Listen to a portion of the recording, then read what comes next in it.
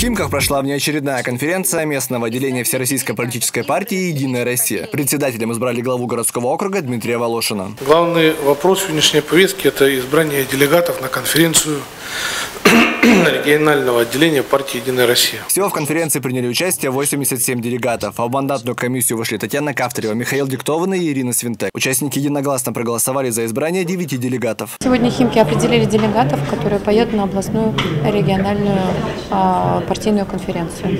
Значимые люди, а, пользующиеся авторитетом. Мы их сегодня избрали, и они будут представлять Химки на областном уровне. Этот год у нас особый, это выборы, тем более в Химках, это и муниципалитет, это и в ЗАГС собрание, и в Государственную Думу. Конференции партии «Единая Россия» регулярно проходят в городском округе Химки.